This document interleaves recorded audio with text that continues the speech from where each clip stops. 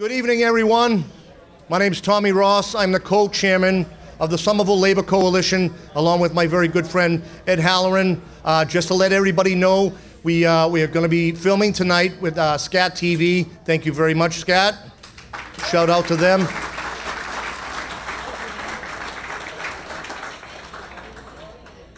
Make no doubt about it. Our way of life is under attack right now. The union movement is getting smaller and smaller. There are less unions in this country right now than there were 20 years ago. One of the reasons is the right is under attack. They want our pensions, they want our health care, they want to diminish our rights. All around us right now, in New Hampshire and in Rhode Island, you see legislation being filed for right to work. It's going to come here eventually. It's going to come from the right wing. It's going to come from the Republicans.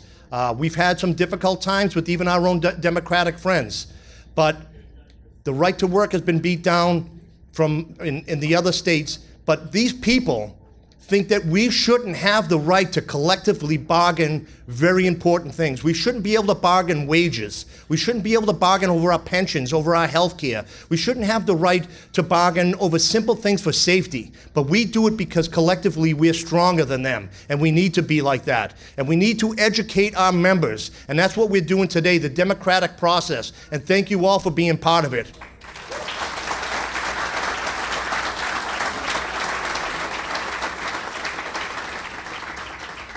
Our members need to know who supports us, who's with us, and who's against us. And most importantly, when we finally do make a decision who we're going to go with, what we're going to do, we have to go to work. We have to make those people make sure they get elected. Do our due diligence, knock on doors, send out emails, make phone calls, talk to our friends, talk to our families, and make damn sure the people that we are electing who espouse the same views and ideologies as our rank and file get elected. They're our voice. We can't go up to the State House. We can't go up to City Hall. They can't hear us, but collectively they can. And they can hear us with our representatives. So we better make damn sure that we elect the right one. And that's what we're doing here tonight. So thank you all for coming. Now, I have the very distinct pleasure of introducing uh, a longtime friend of my father, and uh, I, consider a friend of myself, one of the most popular and long-serving mayors in uh, this city, Mayor Gene Brune. Thank you.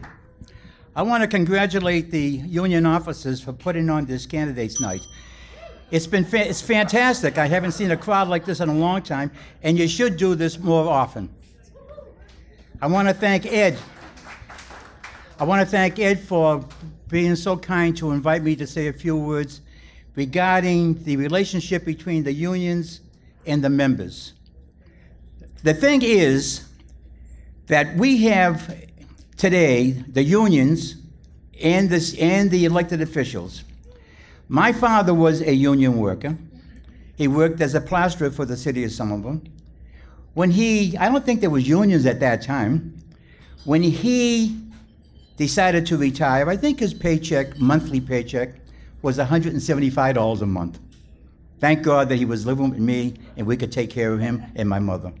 That's not a lot of money to live on.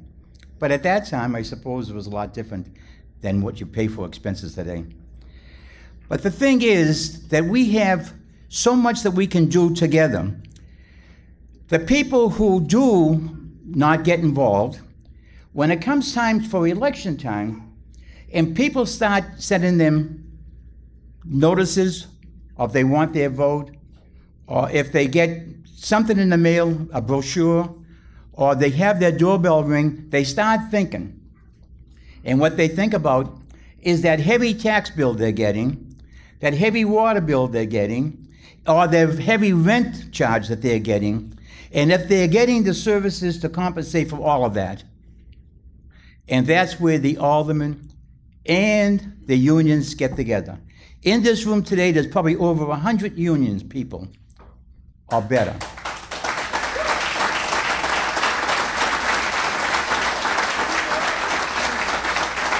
I personally think, and I like to call them our goodwill ambassadors for the elected officials, because they're the ones who are going to help you get elected or reelected. for what they do. But I want to talk about I want to talk about the relationship that we have and what the aldermen should do to work with the with the unions so that they can at least be partners in something that they both want to do. What's best for the city as far as the elected officials are concerned. And I hope that they do that. And if they shouldn't do that, they shouldn't get elected or they shouldn't get reelected. The second thing is the union workers, what's best for the city. And the, and the union workers, for what I can see, in my own theory, and I saw things, and I'll just say a couple. When the fire department, when I had the chemical spill in the early 80s, and we had six, 13,000 gallons of phosphorus trichloride going into our sewer system, not hitting our water supply, I was scared stiff. And we worked for 24 hours to try to remedy that. And we had over 500 people go to the hospital. I had to evacuate 14,000 people. And a lot of them that went to the hospital were firemen, and some never came back to work. It's things like that. And what happens with the police? When they go out and sometimes not knowing if they're going to come back home again. And look at Oliveri, uh, Mario Oliveri, got shot five times. And look at Sean, Sean Collier, who minding his own business, but he got shot and he's dead today. And, and I look at the DPW workers, and you see it every day. They're planting the trees, they're cleaning the city, they're planting flowers, they're, they're fixing sidewalks, they do, the, they do uh, uh water breaks, on and on and on. And so those of you are ambassadors because the aldermen can say, when the, when the people say to them, well, what am I getting for city services? I'll tell you what you're getting.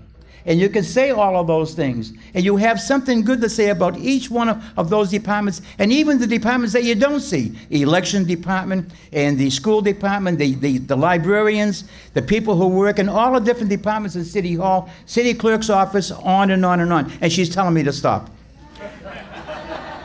my, my, my assistant, Grace Abruzzo, used to do that when I used to speak, and she'd go like this and I go like this. And she would, go, and then she'd go like this. But in any case, in any case, I will stop because I know you have a long agenda. You don't want to hear me. You want to hear the candidates. But, but most of all, I want to say this. One thing my father did say to me, and I'll stop. One thing my father did say to me when I became an alderman. I know you can't do much for the city workers as an alderman, but whatever you can do, please try to help them. They're deserving of your help. And that's why when, not when, when uh, uh, health insurance went from 50% to 99%, and it almost killed me.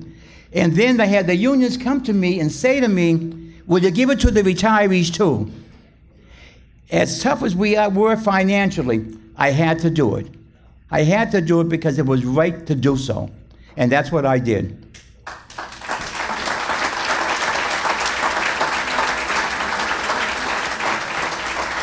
So I'll start by saying that I want to congratulate all the candidates that are running because we'd like to have new blood. I want to wish them all luck, the candidates that are running and the ones that are running for re-election. But remember one thing. It's the voters that are going to put you in there, and you can't fool the voters. Don't think that, don't listen to the developers, don't look and listen to big business. They can buy your bumper stickers and they can get your brochures, but they can't get your votes. You're going to hear a lot of things tonight about uh, development, about transparency, about uh, affordable housing, and you know, and all this kind of stuff is important. But as municipal workers, I just want to remind all of us what's happened in this past administration over the 10 years. We had one of the lowest paid DPW departments in the entire state compared to the other other cities and towns. Had to go seven years almost seven years without a contract. The police officers doing one of the most dangerous jobs that anybody, over five years without a contract. The police officers, the firefighters, another four years. We can't sign contracts fairly. They're not negotiating fairly with any municipal union. And this is what brought us all together is the frustration, is the frustration, and now that's bringing us together collectively, and it's turned into a, a, three-headed monster, and we're going to make something out of it. So thank you very much for your support. I would also be remiss if I just didn't mention real quickly about some of the people that made this possible because there's been a, a, a lot of moving parts. Eddie Halloran, right here, he gets his uh, uh round of applause. Absolutely. Without Eddie, without Eddie and his inspiration, there would be no SLC, I can tell you that. Peter Blakey, thank you very much. Mike McGrath, Mike Cabral, Steve Ross, Jimmy Roderick, Terry Medeiros, all the members of the uh, SLC Executive Board, thank you very much for making this happen. And now, without further ado, I would like to uh, introduce our moderator for the night from SCAT TV, the ubiquitous uh, Joe Lynch. Welcome to the 2017 Somerville Labor Coalition Candidates Night and Forum. I am Joe Lynch, your moderator for the evening, and it is my pleasure to have been asked by the SLC to participate in tonight's event. I am a board of directors member of the Somerville Media Center, more commonly known to most of you as SCAT TV, and we are thrilled to be asked by SLC to tape tonight's forum. But before we go any further, we played a trick on all of you. We are Facebook living this event. So when Eddie and Tommy asked me, they said, Should we announce it? I said, No, because they'll all stay home. so it is on the Somerville Labor Coalition's live uh, Facebook feed as we speak. So, SCAT TV will be showing this tape program in the coming days. Watch for announcements in the local media and on SCAT TV's website. In the interest of full disclosure, though, I do have to reveal that I'm also the vice chair of the Ward 5 City Democratic Committee. So let's get down to the business of tonight. As with any political forum or debate, there are some guidelines and rules that the SLC and I have agreed to follow, and the candidates. First and foremost, in the event of any emergency, please take a look around the room, familiarize yourself with the emergency exits of the facility, and the moderator is taken out first. Second, we ask that all recording devices, cameras and cell phones be put on mute and that flashes to, are held to a minimum. And third, please get very comfortable because it's going to be a very long night. I would like to recognize, as Tommy has, the planners of tonight's event. So if the leaders of the SLC could stand and be acknowledged one more time.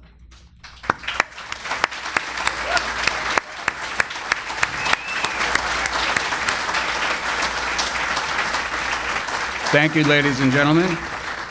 Also in the room, but not participating, are some of the current elected officials here in Somerville. So I'm just going to ask you to hold your applause. State Representative Denise Provo is here. Not participating. So we also have uh, Ward 1 Alderman Matt McLaughlin. He's already standing, all right. I see we also have Ward 5 Alderman Mark Niedergang, Ward 6 Alderman Lance Davis. We have from the Somerville School Department, we have Ward 5 and Chair of the Somerville School Committee, Laura Pitone. We also have Carrie Norman, who is in attendance. We have Lee Erica Palmer in attendance. Did I miss anybody? Any current elected official? Sorry? They are participating tonight. They get their own special introduction. Union folks, pay attention.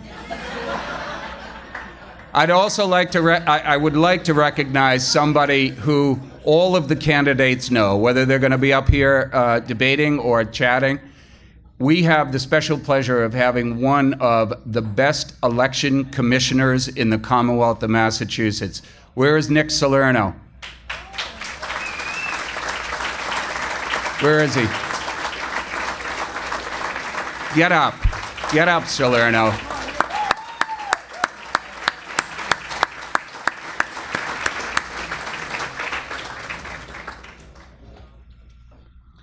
So thank you all for coming. We also have with us declared candidates for school committee from Ward 1. As you know, the school committee will be contacted by SLC at a later point. So the school committee candidates for Ward 1 are Guillermo Samuel Hamlin. He's with us tonight. Tracy Pratt is here with us tonight, and Emily Ackman. In Ward 2, we have two new entrants into the Ward 2 school committee. We have Ann Kamara And we have Susan MacDonald Neonakis. We also have in Ward 1 a new entrant. Elio LaRusso is present in the room. Elio, down the back. And I think I got everybody there. So let me just kind of, uh, th- there was some confusion about who's participating and who's not participating. So, as it was explained in the emails sent out by the SLC, we also have the late entrants who will not be participating tonight. So, there was a cutoff that was established by the SLC when they sent out their questionnaire. If, they if the candidates returned their questionnaire, then they were included for endorsement by the SLC. And they would be invited to the forum. So that's how it worked. The late entrants did not get invited to participate in the forum. They will also not be considered for endorsement by the SLC. So let's get going. The forum will be broken into three different segments. First up will be the candidates for the individual wards. The eligible participants will be from Ward 2, Ward 3, and Ward 4. Next will be the two declared candidates for mayor. And we will finish up with the evening with the seven eligible candidates for four alderman at large seats. One candidate informed the SLC this morning, late this morning, early this afternoon, that he would not be participating in the forum. We do have some questions from the audience, and if time allows, we will make every effort to include them in the candidate questions. We're on a very, very tight timetable, and I know everyone is very excited to see their candidate do well. But in order to give the maximum time for the answers, we ask all of you to hold any applause or cheering or audible displeasure till the very end of the round.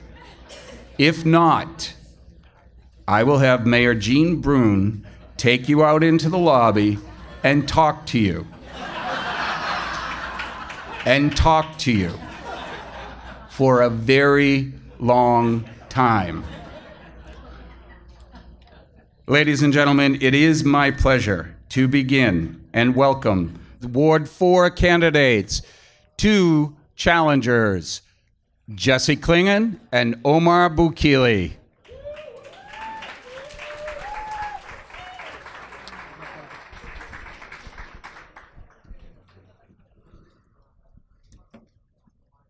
As with all of our candidates tonight, a two minute opening statement.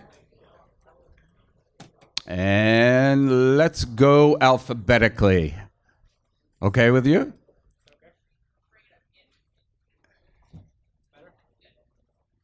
Hi, everybody. Can you hear me? There you go. O- Hi. Omar Boukili, two minute opening statement. Hi, everybody. My name is Omar Boukili. Um, I'm running for Ward 4 Alderman. Um, thank you very much for the invitation tonight. Uh, it's a pleasure to see so many familiar faces um, here. Um, I was born and raised in, in Morocco, and I moved to the area via uh, or by way of California and DC um, about a decade ago.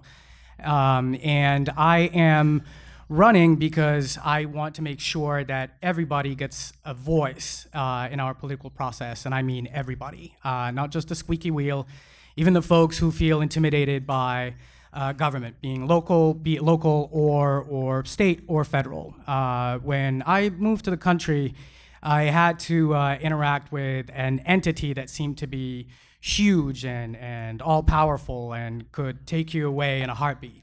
Um, and I got into uh, public service in order to change that attitude, that perception, and change the way these governments uh, interact with the people they're supposed to serve.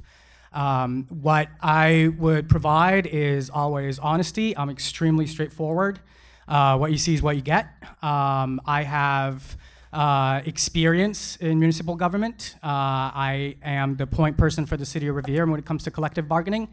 Uh, and I am value oriented. I, I believe in the stuff I work for, and I'm extremely relentless uh, when it comes to pursuing those issues. Um, and I look forward to a spirited campaign. I think it's going to be um, a hell of a time. Uh, and um, thank you for, um, for the time. Thank you, Omar. Jesse Clingan, Ward 4 candidate. Thank you. Uh, good evening, brothers and sisters. Thank you for this opportunity uh, to be here. It's both my honor and my pleasure. My name is Jesse Kling, and I'm running for Ward 4 Alderman. I am a proud union member. I am a, I am a member of the National Association of Government Employees, Local 292. And uh, I just want to say thanks again. I, uh, so, first off, I, I grew up in Somerville. I was born and raised here. Um, I, uh, matter of fact, in, in the ward, I'm, I'm now knocking doors on, and so it's, a, it's such a pleasure to be back. Um, I, I, I lived in seven different apartments growing up in Somerville. My mother was a single mother. She worked for Cass Head Start. She worked for the Somerville Homeless Coalition. Um, after, so to be back in Somerville now, I had been priced out in 2002. Um, it's just been amazing. And, and, but even when I wasn't living in Somerville, I was extremely active in the community. So I'm just I'm just happy to be back. And what I want to say is that you know I, I, had been in the service industry for many years, uh, the the restaurant, hotel, and uh, luxury uh, transportation industry, and I, have actually been the victim of wage theft. I've been the victim of um, bad labor practices and uh, tyrannical bosses. And it wasn't until I joined a union myself that I, I really began to appreciate the the uh, collective bargaining process and having union representation um, the unions allowed, uh, uh, afforded me to be able to provide for my family without having to get on my knees and beg management for a raise. Okay, we shouldn't have. United we bargain, divided we beg is something I live by. And people that know me, they know that I don't cross picket lines, I walk them. I've, I've adopted picket lines for Verizon. When they went on strike, I've adopted picket lines for the local 26 dining workers. And, uh, and, and I am proud to say so far I have 12, 12 union endorsements, including that of the Somerville Employees, uh, Somerville Employees Association, uh, Somerville Municipal Employees Association. Um, and so, you know, with that said, again, I thank you, and uh, I, I look forward to building a strong campaign in Ward 4. I've been out talking to many uh, union members already, and it's amazing how many connections I have in that ward and how many uh, uh, union members there are in that ward. So, so I appreciate the opportunity. Thank you. Thank you, Jesse.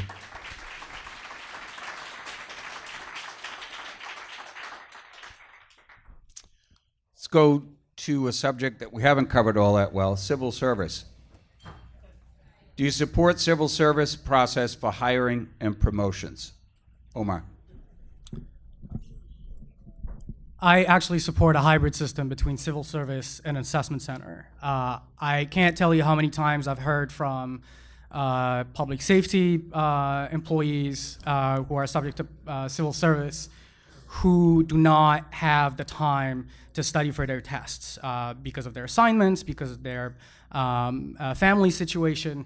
Um, I believe in something that we can sit down with every bargaining unit and hammer out some kind of structure that would allow us to take into account somebody's civil service score and add other attributes to it or other um, issues to, um, to uh, test or evaluate. I think that's the fairest way to do it.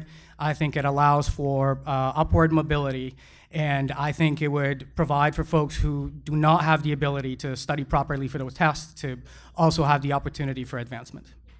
Thank you, Omar. Um, second question. Yeah, sure. Which one did I read? Civil service. Yeah. Do you support civil service process for hiring and promotions?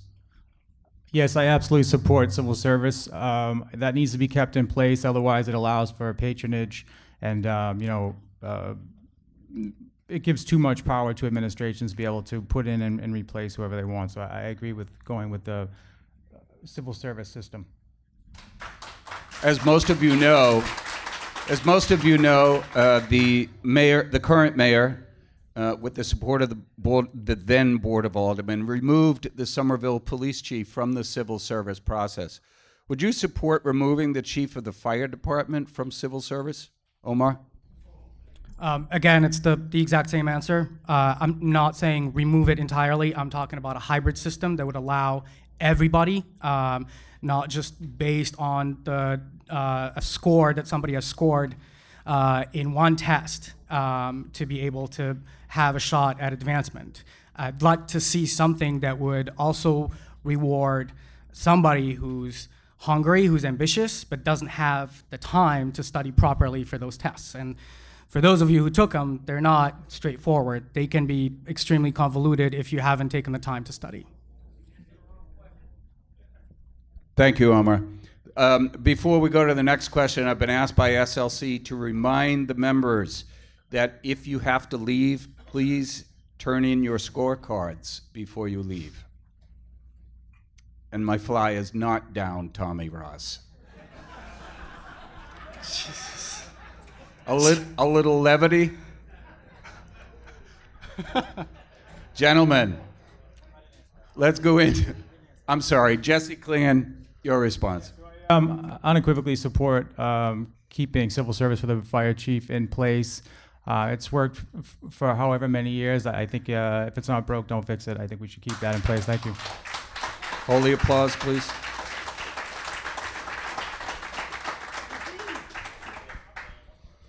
Let's go into privatization. Would you support bringing back those outsourced jobs that were previously outsourced under claimed financial difficulties but could be brought back now because the city appears to be in much better fiscal shape?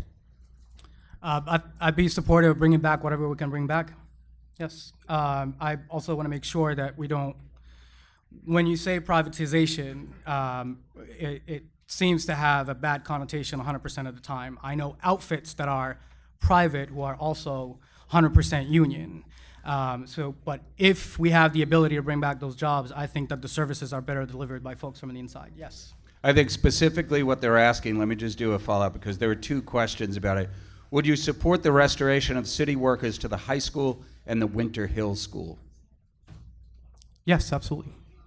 Thank you, Omar. Jesse?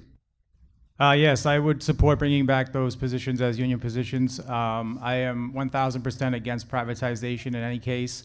I believe in a unionized workforce. I think that uh, when, when we do privatize, it never uh, benefits anybody. The quality of worker goes down, and we never end up saving. I see it all over the place with privatization, where you know it, it, the the cost is it, it, it's not up. You don't see it in, i- out front, but in the back, it comes back as it's definitely a, ends up costing the taxpayer a lot more money. I'd rather see a strong unionized workforce in Somerville. Thank you.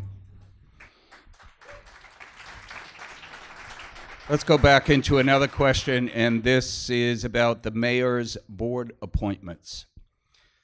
Recently, the planning board allowed Federal Realty Investment Trust to decrease its affordable units from the proposed inclusionary zoning of 20% down to just 6% in lieu of a housing trust fund payment. Would you, as alderman, use your power to deny mayoral appointees and be more selective in this appointment process? Let's start with Omar. Well, I, I would exercise uh, the rights and the purview that the board has. Uh, if I don't deem a candidate to be qualified and uh, somebody who should be on that board, uh, then I wouldn't vote for that person. All set? Yes. Just Uh, yeah. So, uh, as far as I'm concerned, the, the answer is no. Yeah, I, I would I would definitely uh, not approve those those people. And uh, I think what we really what we really need to, need to be talking about here though is independence. And I am somebody who's an independent voice. Um, I, I take answers from nobody. I, I take uh, orders from nobody except myself. And um, I think it's just important that we start to um, uh, get the right people on the board of aldermen who who can actually um, make uh, independent change. Thank you, Jess. Once again, at the uh, discretion of SLC, I can ask a follow-up question that was not part of the questions here. Many of the demands have not been met through Federal Realty, uh, Federal Realty's promises that were made, including using union labor down at Assembly Row. Would you support an ordinance in this city that demanded union labor for folks like Federal Realty, a private company, or folks like Somerville Community Corporation, a not for profit? Let's start with Jesse. Want me to rephrase it? Just the la- I just missed the last part. No?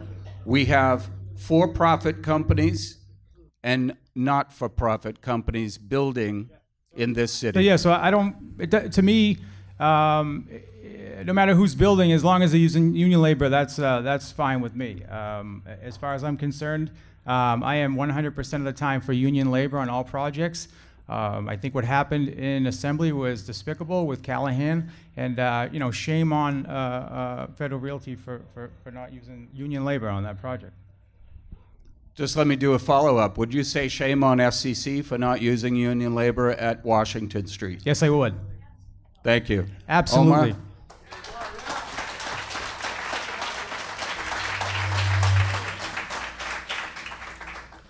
Thank you. Um, as I mentioned earlier, I had the chance to uh, do a few things in, in my uh, career in government. I have a track record of positive change. Everybody can, can take a look at it, um, especially in my last year and a half in the city of Revere. Um, the, conceptually, yes. Um, the best way to uh, make sure that everybody has the ability to live with dignity is to make sure that they have good jobs, uh, construction jobs, service industry jobs. Uh, I would absolutely support the concept. Now, the issue may be that the ordinance may not be legally sound, and that's the type of issues that the Board of Aldermen deals with all the time. Uh, you can have a great idea, uh, it may sound good, but then you get into the nitty gritty, and that's exactly what I do the mechanics of everything, and realize that it's something that cannot be done under current law. The law has to change, or can't be done under federal law at all. Uh, there was an example a few years ago when uh, local hiring ordinance was proposed. Um, it was not legal, so the Board of Aldermen could not pass it. Uh, conceptually, however, every um, entity that tries to do or wants to do business in the city should make sure that they're paying their employees a good wage, that they allow them the ability to live with dignity and put food on, on, on their table. Thank you, Omar. Let's move on to collective bargaining. Would you use the moral authority of your office to assist public and private sector unions in our community to settle their collective bargaining disputes? And how would you go about doing that? Let's go to Jesse. Uh, yeah, I would do everything in my power as alderman to uh, to to assist in, in in in seeing through these negotiations. I think it's uh, one of the ways I would do is just is um, you know getting people to the table, speaking to the to the uh, actual employees, and seeing what the needs are, and uh, trying to help them meet their needs through through uh, th- through negotiations. Thank you, Jess. Omar. Um, I absolutely would, yes. Uh, and I think the best tool that um, an alderman or elected official has is to facilitate conversation between different parties.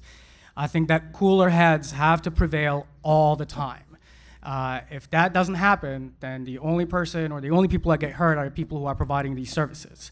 So I would do my best, just like I'm doing today in Revere, to make sure that that happens. Uh, and to give you an example, in the last 11 months, uh, I'm the per- point person for the um, for Mayor Arrigo and Revere for collective bargaining. We have settled six different collective bargaining agreements, with one left, one in the works, in less than 12 months, without staff, with very minimal legal um, uh, assistance. So um, I can promise you that if there is a way, I will find it.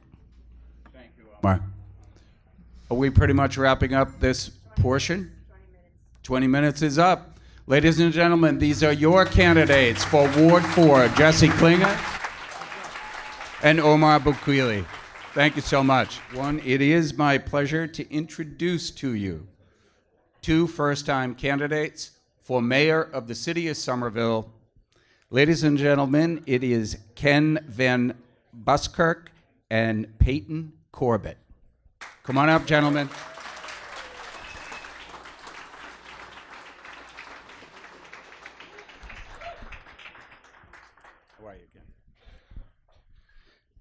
And we're going to go right to two minute opening statements. Let's go to Peyton Corbett.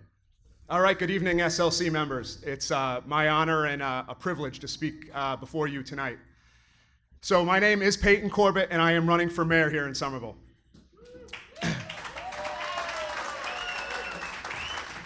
a, a little bit about myself. Uh, I didn't grow up here, you can probably tell by the way I speak, uh, but I've been here for about 14 years. Uh, I'm a, an elected official with Teamsters Local 122, where I serve as a trustee on the executive board. I'm also a shop steward in my workplace, where I've worked for 14 years, and a union and community activist. Uh, I learned pretty early on, uh, through my experiences in the labor movement, the power that regular, ordinary working people have when we stand together and we use our collective voice to fight for justice. I became a Teamster when I was 20 years old. I got a job driving a beer truck before I was even old enough to enjoy the goods I was carrying around. You know, another thing I've learned through my experience in the labor movement is to take to take those shop floor politics that we learn in the union, right? We stand up for everybody. No matter if we have difference with, differences with them, when we're on the shop floor, there are brothers and there are sisters. And that's how I see politics. You know, there was a time in this country when union members would go out into their communities and they would they would work together. They would run for local office. They would they would fight to elect the right politicians. And we've got we've gotten away from that. And i am here to bring that back.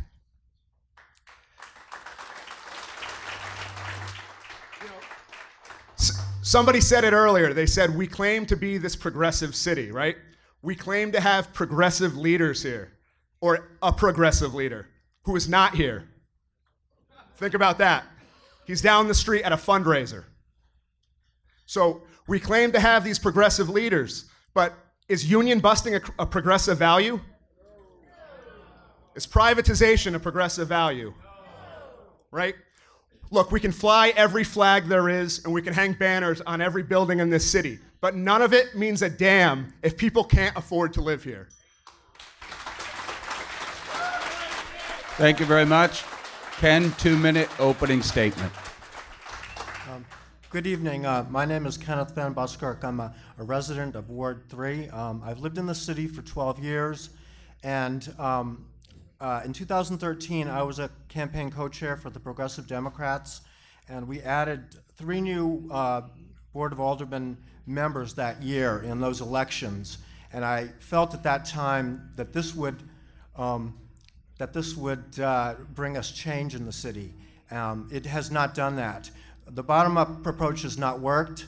Um, everyone is talking about how the mayor, you know, he's been unopposed for 10 years. He has, he, he doesn't run the city democratically.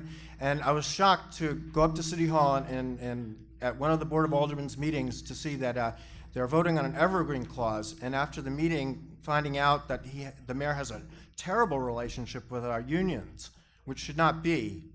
Uh, I, I, got a, I pulled papers and got on the ballot because I want to change that. It's not going to come from the bottom up. The, we need a new mayor, and that's why I have taken the step. Thank you. Thank you, Ken. So I'm going to stay on that for a bit, and once again, it is a question that I want answered. Do you think that the current strong mayoral form of government is good or bad for Somerville?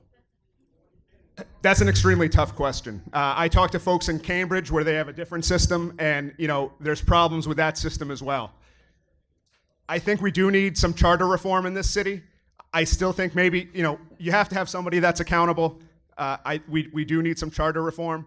So I think appointing, maybe moving some powers to the Board of Aldermen, which brings power back to the people in the wards, is the way to go. Um, I don't have all the, I don't have all the answers.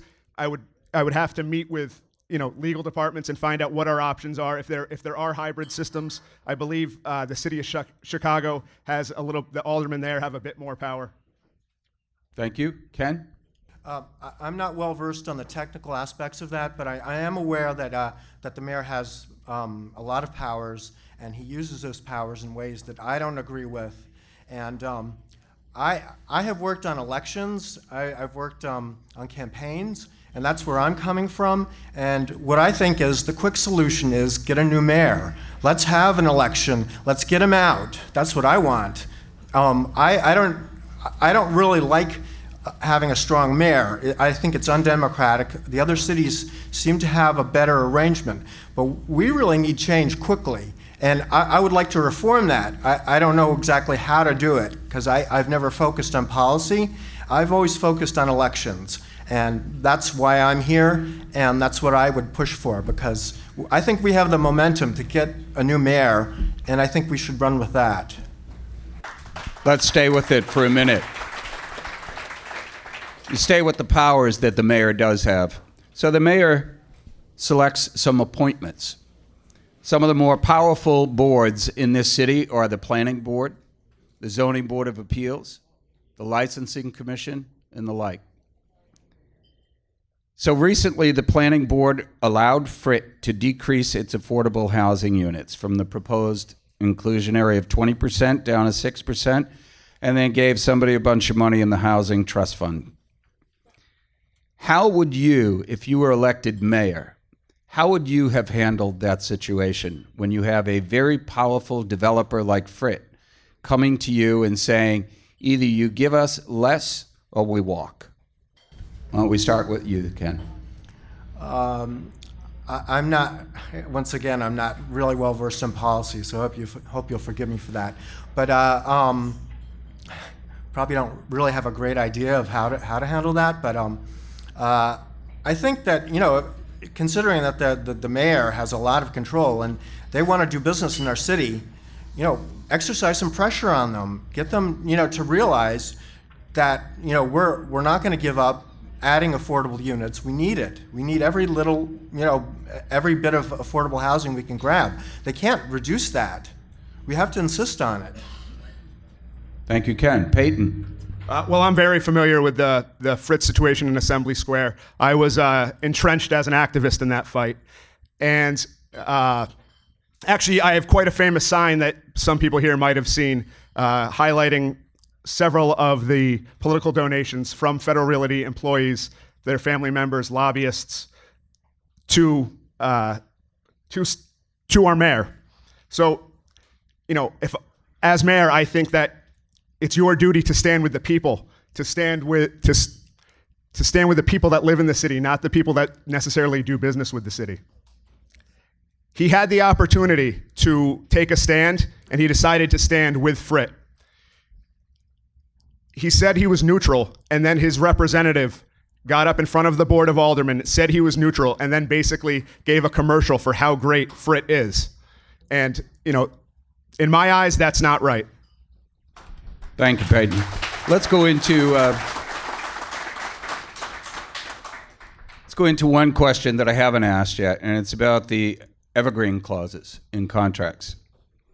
Would you follow up on any resolutions you vote in favor of, such as the most recent unanimous resolution passed by the current Board of Aldermen on evergreen clauses? And would you take the lead as mayor to change the policies on negotiations of an evergreen clause? As mayor, I, um, I, I would uh, want to be a very pro-labor mayor. I think that as Democrats, we, um, we need to stand by organized labor. We need to stand by our public employees. Um, and uh, um, I would um, I would make sure that that we develop a, a harmonious relationship with our unions, restore one uh, if we ever had one. I think probably long ago, before this mayor, maybe we had a harmonious relationship with our unions. Um, we don't have one now. We have basically have a, a dictator in, in the corner office who uh, who's going to you know tell people what to do and deny people their wages and benefits. And he's done that for seven years. Thank you, Ken. Peyton? Well, I'm a Teamster, so how do you guys think I'm going to answer that question? but let me just say this the Teamsters are a very diverse union. My local, in particular, is both private sector and public sector. Half of my members work in the public sector, many in uh, public housing in cities in, in Boston and a lot of cities surrounding here. And I don't have to tell you folks that public sector employees are treated differently than private sector. Nine times out of 10, you folks don't have the opportunity to strike. So you need those evergreen clauses more than anybody else. And to think that anybody with a D after their name would want to get rid of evergreen clauses is just despicable in my eyes. Thank you, Peyton. So I'm going to do I'm going to do one follow-up question. If either of you are successful in your bid, can you make a pledge to every single person in this room about your evergreen clause stance? Absolutely. Elaborate if you wish. Yep. Look, there's plenty of money in this city. There are plenty of people making money in this city. There are developers making money hand over fist. There are departments at City Hall. Look, as a trade unionist, I never want to see anyone lose their job, but no union member is ever going to lose their job under my watch. and there's money. There's mo- there's money where we can get it. Have you guys seen the budget for the communications department? do, do we do we need a PR and marketing firm to tell us how great Somerville is? People are fighting to get in here. Ken? It was my uh, it was my attendance at the Board of Aldermen's meeting where the uh, Evergreen uh, Clause vote took place, and speaking with the union leaders after that meeting, um, that prompted me to start thinking about pulling papers and running for mayor. That became my, the last straw for me. I know that the mayor, his policies, uh, he has a long string of bad policies, bad for the residents, bad for the workers, the city workers. I recognize since 2013, after going to more meetings, how hard our city workers actually work for us. And without receiving a pay increase in seven years or an increase in benefits, they have worked as if they had that. That's and when I go out canvassing, you know, for signatures, people tell me, "Oh, I, I'm happy with the mayor. He he runs city government so efficiently," and like I'm thinking, he doesn't run it. The, the employees run it. They need deserve the credit. Thank you, Ken. Going to ask you a question I asked before about health care benefits. Somerville has sought to balance its budget by shifting health care costs on the backs of the city employees and retirees. If you are successful, how are you going to balance the budget without touching the benefits? Let's start with Peyton. Well, again, you know, some top heavy departments in City Hall, uh, there's plenty of money to be moved from departments that have way too many employees, waking, making non union employees making way, way too much money. As you know, as, as others as others have talked about possible, uh, you know, land transfer taxes. Look, there is plenty of money to be made in this city, and it's not off the backs of workers. Thank you, Peyton. Ken? On this issue, I think that uh, we, we don't have a, like a spending problem, we have a revenue problem in the city. And um, I take a look at Tufts University. They pay $200,000 a year for their city services, and they buy up properties, income producing properties in our city, and they make money off of us, and they don't pay anything back, really. They're, and they're a billion dollar institution. Why should they get a free ride? I think it's time to, to get them to pay a, a, a fair value for the, the services they're getting from our city. Um, and we could raise additional revenue there. And um, the same with large corporations that do business within our city limits. They're not being required to, uh, to pay their fair share of taxes. Um, those sources for, for revenue I would have a look at. I would push to, to, uh, to make those institutions pay because we, we can't go on like this, forcing property owners to, you know, to pay exorbitant uh, property taxes that force them out of the city. Thank you, Ken.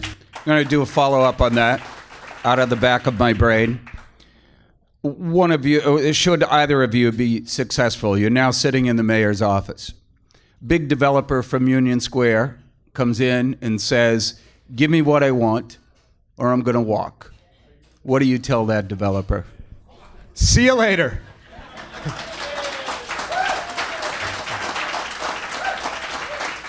Look, it's as simple as that. There's a, there's a whole lot of people that want to make money in this city. They're lining up. We don't need them, they need us. We want developers who are good partners, not parasites. Look, if we're going to take land by eminent domain and we're going to sell it at under market value to developers, for fo- to for-profit developers, no way. If we're going to take land by eminent domain, then it's going to be for the good of the public. And I don't want 20% affordable housing. I want commercial on the bottom with 100% affordable housing above it. Thank you, Peyton. Ken, you're the mayor of Somerville. Somebody from one of the many developers from Union Square and walks in and says, Give me 10% affordable housing or I'll walk. What do you say to them? Okay, um, I, I will never take any money from a developer um, in this campaign, and I will never be influenced by their decisions. I, I know how the current mayor operates. He takes huge amounts of money from other politicians do too. I would never do that. Um, we, we need to give our, our, our residents a voice in the process. We need to do the will of the people, and um, we're a prime location. Everyone wants to, seems to want to do business in Somerville now. We don't have, we're not desperate. The mayor is not desperate either. He, he has gotten huge amounts of campaign contributions from those people. That's why he says yes. And I, I say no to them. Thank you, Ken. 20 minutes goes fast when you're having fun up here, gentlemen. I got one more question for you. You're successful, you've become mayor. But over the last several years, the SMEA and the police have filed more than 100 charges with the Department of Labor against the city for violations of their contract. Let me ask you a question just off the top of my head. Do you think these, these grievances, you think they're just a bunch of crybabies, or do we have a mayor who is violating those contracts? We, it's pretty clear, even from long-term aldermen who have spoken here, the mayor is a union buster. He is not friendly when it comes to working people in this city.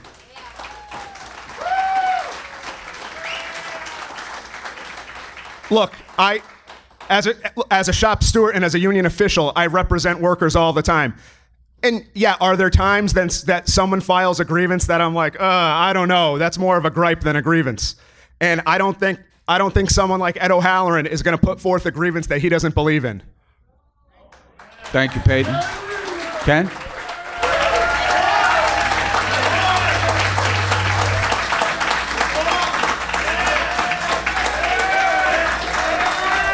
Eddie, Eddie, you can take your bows later. It's their turn.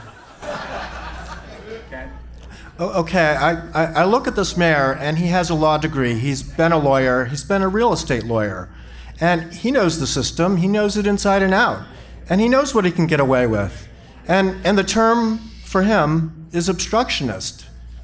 Um, and that's what he's doing. He knows what he can get away with. It, this boils down to policy. This election, I think, will be about policy. We need to change the policies. And um, this mayor, I don't think he'll ever give the unions what they want. I, I don't think he's ever going to even negotiate during this, um, this election season. He, he, he's not going to do it. He's not going to let go of all, all you know, all, um, all that money for wages and benefits that he hasn't paid in seven years. I just don't see him doing it. Um, so we, we need a new mayor. We, we need to solve this question politically. We don't, it's not going to be solved through the courts because he, he's an expert at, at getting around the court system. So Thank, thank you, Ken. Ladies and gentlemen, these are two challengers for mayor in the city of Somerville.